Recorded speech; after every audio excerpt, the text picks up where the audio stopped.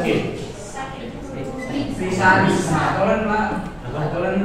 Gatelan, makanya saat kamu sekarang harus banyak jaga kebersihan. Enggak gatelan. Kemudian sing gatel lian-lian kan repot. Oke, eh, Paris di sini untuk kali ini kita akan bahas tentang materi induksi elektromagnetik. Pernah dengar? Baru kan? Oke.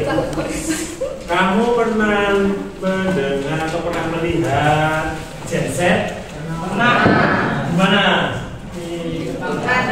Antena. Terus Pengajian. pengajian generator itu beneran?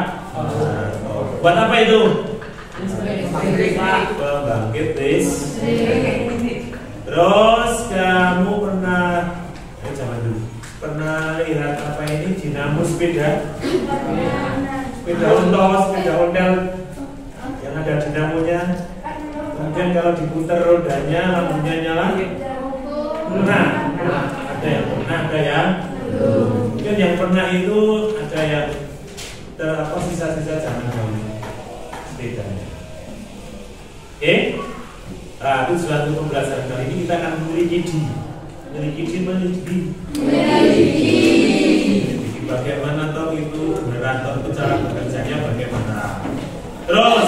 musim hujan mau kemarau Marah. generator itu contohnya adalah pembangkit listrik kalau musim kemarau seperti ini kira-kira pembangkit listrik itu listriknya ajat atau berkurang Kurang. kenapa berkurang Karena makin murah. Karena kan panas sih. pembangkit listrik tenaga air pernah terdengar toh? Nah. Nah, musim kemarau berarti Jadi yang berkurang berarti generatornya berkurang. Oke, kita akan praktek nanti bagaimana toh kok bisa berkurang listriknya ya. Praktek kita bentuk saat tiga kelompok. Kelompok empat eh empat ya empat ya empat ini satu dua tiga empat. Ini yang kurang sisa nanti masuk sini. Siap? Oke? Dalam satu kelompok nanti silakan dibuat satu meja atau tiga meja. Seret. Ya, cepet. Siap? Siap. Oke, lanjut. Silakan buat kelompok buat mejanya.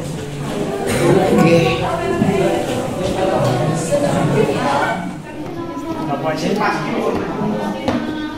Makannya di keluar masukkan lewat lubang. Bisa ini ya. Masuk. Gerakan keluar masuk. Nah. Ini adanya arus listrik. Ini pemat. Ihana lah. Saya ini untuk S itu Pak S. N.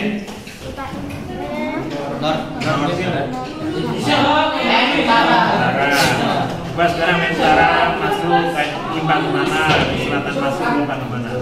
Itu pertama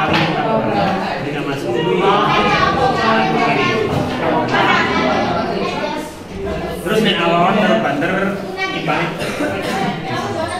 Banter. Banter. Banter berarti ini imbangnya lebih Mengimbangnya sini berarti harusnya ini nyempalnya besar harusnya besar juga. Sayapnya semakin banyak, semakin gede. Nah, nyimpangnya semakin ini lilitannya semakin banyak. Please, please? Please. Ya. Bud. Oke, sekarang setelah kamu praktek silahkan presentasi di depan dibacakan perwakilan dari masing-masing kelompok dua. Yuk.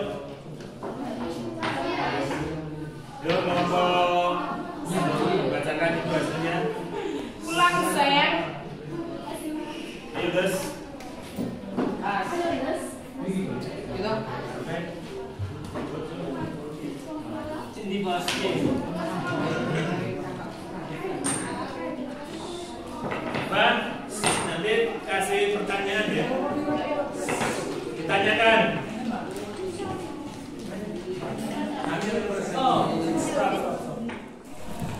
Oke, kita tadi sudah melaksanakan praktek tentang induksi elektro.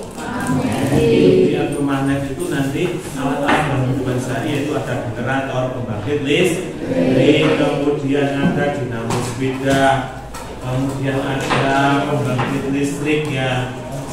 Pakai solar yang digunakan untuk tadi apa? Di tempat perkawinan pengajian dunia apa? Jen, itu tenaganya dari diesel. Oke. Jadi besar kecilnya arus induksi, arus induksi yang dihasilkan itu dipengaruhi oleh satu apa? Kecepatan gerak gerak mana mana keluar masuk dalam dalam kumparan itu ya tuh kecepatan yang digerakkan itu tidak harus apanya? Manennya tapi juga bisa kumparannya dibalik bisa. Yang penting bergerak. Terus yang kedua? Jumlah kum antara kumparan yang 500 lilitan dengan yang 1000 arus yang dihasilkan menyimpangnya jarum mikrometer besar yang mana? Yang 1000 jadi lilitannya semakin banyak maka arus yang dihasilkan semakin besar. Terus yang ketiga? Kekuatan magnet. Kalau magnetnya hanya satu dibandingkan dengan magnet yang lebih satu misalkan di double magnet ya maka arus yang dihasilkan akan lebih jelas ya?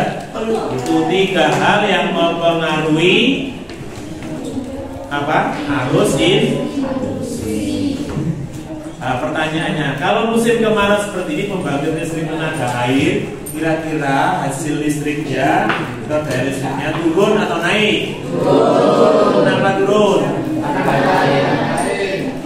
Airnya airnya aliran airnya kecil ya.